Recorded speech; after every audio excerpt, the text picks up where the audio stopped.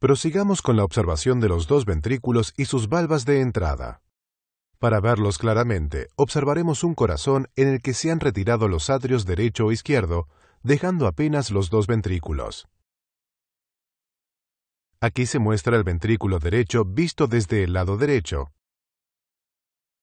Y aquí se muestra el ventrículo izquierdo visto desde el frente. Si nos dirigimos hacia atrás, este es el ventrículo derecho y este es el izquierdo. Están separados por el tabique interventricular que se encuentra aquí. Aquí estamos mirando hacia adelante dentro de las abiertas y amplias valvas atrioventriculares, la tricúspide a la derecha y la mitral a la izquierda. En el lado derecho, la sangre circula hacia abajo y adelante para llenar el ventrículo derecho durante la diástole, en sístole circula hacia arriba y a la izquierda dentro del tronco pulmonar, pasando a través de la valva pulmonar que se encuentra aquí.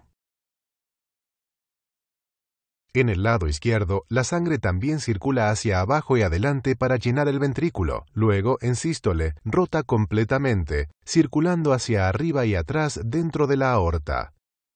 Pasa a través de la valva aórtica, la cual no puede observarse aquí.